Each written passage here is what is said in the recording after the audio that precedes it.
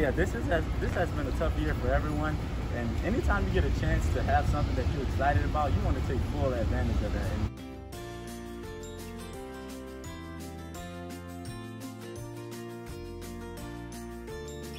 Are you ready, Cap?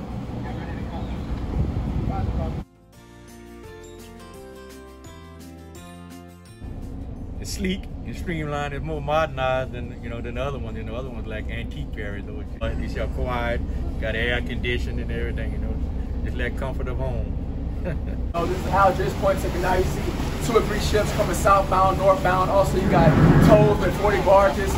It's crazy because it's like, oh man, it's so congested. It's like, how we gonna get out of here?